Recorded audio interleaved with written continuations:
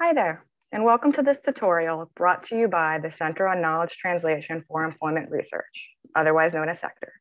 My name is Ally, and I'll be walking you through this quick tutorial. A few things to remember while you're watching.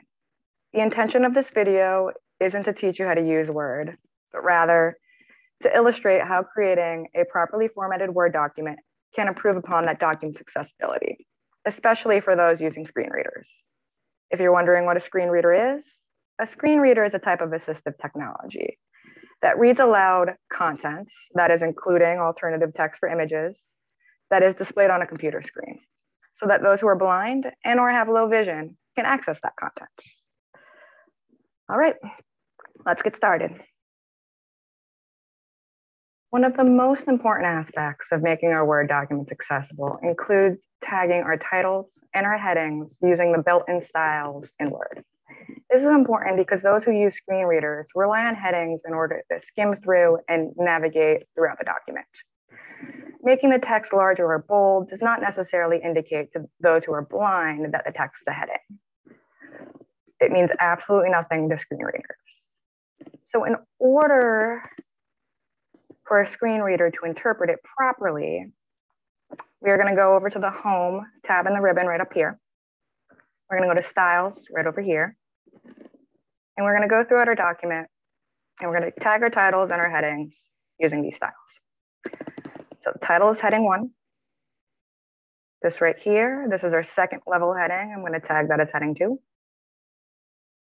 I scroll throughout the document, continue to do the same thing with all of our other headings. Heading three, another heading level three, and so forth. You can then go ahead and modify these styles so that they look however you want them to look. So I'm gonna go right up here and back into the styles pane in the home tab of the ribbon. I'm gonna right click. I'm gonna go to modify. And you'll see here, I can now change the way this heading looks and make it look however I want it to.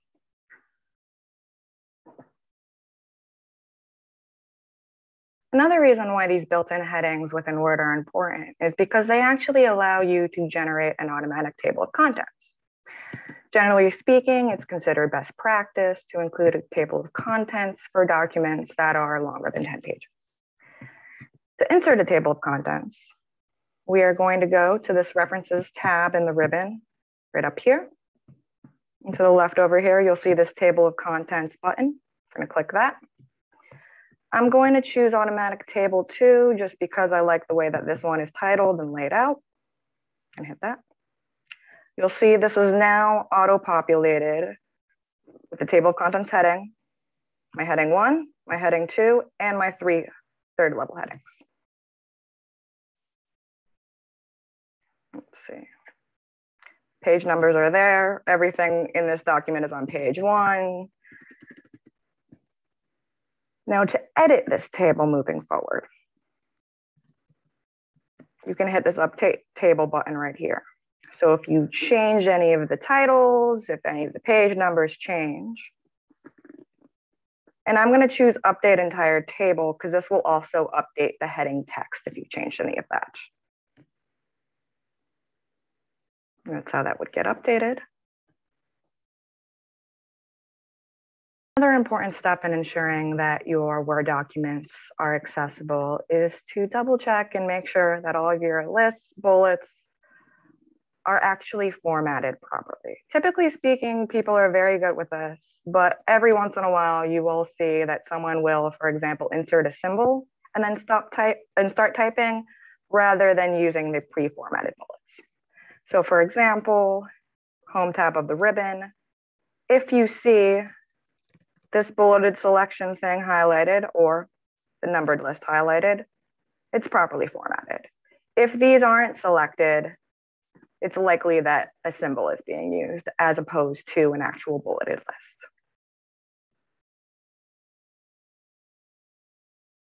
A lot of the times when we include links in our documents or our web pages, we kind of just take the URL, copy and paste it, and just plop it on in there. We don't really think about about what that means in terms of accessibility. For links to be accessible, you need more than just the URL. You need to tell the screen reader where that person is going to be directed to. So for example, https colon forward slash forward slash CeKTER.org is a URL, it's not a link.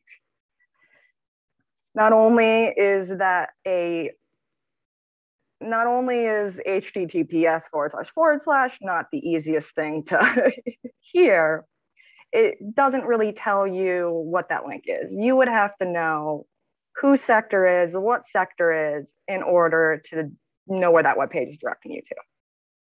You have a similar problem with the second example here. Want to learn more? Visit us here. What is here? That's not telling you where you're going to be directed to either. So in order to remedy this, for example, I am going to type in want, want to learn more about accessibility. Visit the CeKTER website. This will tell the user what sort of content they'll be getting, accessibility, and who provided it, CeKTER. Now we are going to take this link, we're going to take, sorry, we're going to take this text and we are going to link it to the URL. In order to do that in Word, we're going to go to the Insert tab up here in the ribbon. And then, bear with me here, I'm looking for, oh, here it is, insert link. I'm going to insert link right over here. And just follow the prompt. So right here, text to display, this is the linked text. This is what we typed earlier. Want to learn more about accessibility, visit the CeKTER website. We want this to link to a web page, not an email address. So we're going to click on existing follow web page right here. Down here in address is where we're going to type the URL. So we want this to go to CeKTER.org. So I'm going to type in https colon forward slash forward slash CeKTER.org. You'll now see that this text is now linked. If your document has tables, you're going to need to make sure that your header cells are formatted as header cells for the screen reader. So basically, I'm going to go ahead and select the first row of this table.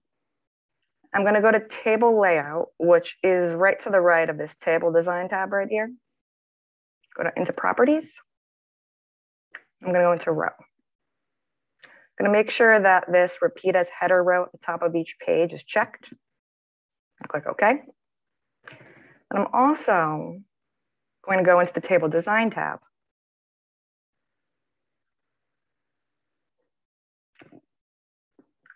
And I'm going to make sure that the header row box is checked.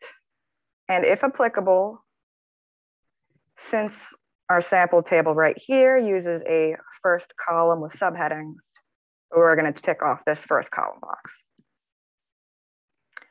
Then once we've done this, you can click anywhere within the table. And when you do that, you'll notice this multi-directional arrow shows up in the corner here. Click that, it's going to select the whole table for you.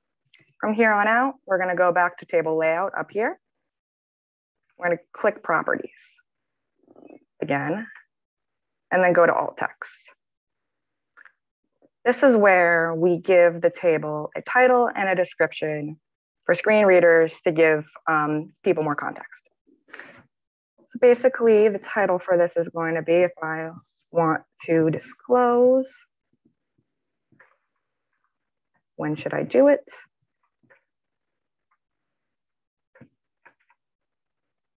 And then in the description box, we're just gonna briefly describe what the table is about. So this table outlines pros and cons of disclosing your mental health condition at work and when is the best time to do so. If you're including images in your document, provide what is known as alternative text or alt text for them. This alternative text is what gets dictated by the screen reader in place of the image. Otherwise, the screen reader is unable to tell what is going on there, and it has nothing to dictate to someone who is blind or has low vision. You should also include um, alt text for images of text. And now I'm going to go through both of these examples with you. So this first example is just your basic image that we need to describe. So I'm going to go and right click on it, or if you're on a Mac, you can command click. And then I'm going to go down to edit alt text. You'll notice that sometimes Word will generate an, an automated description for you. This description is usually very poor, and I would highly recommend you provide your own. Now, alt text is best kept to about one or two sentences. If you need that, if you need a longer description than that, you can link to an external document and provide that long description there. That external document can be a web page or it can be another Word document, for example. All right, so now that we've right clicked on this and we've gone to edit alt text, I'm going to describe this.